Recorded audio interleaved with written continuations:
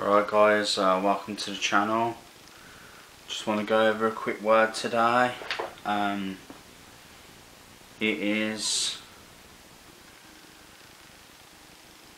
Philippians chapter 4 verses 4 to 8 and it says rejoice in the Lord always I will say it again rejoice let your gentleness be evidence to all the Lord is near. Do not be anxious about anything, but in every situation, by prayer and petition, with thanksgiving, present your requests to God.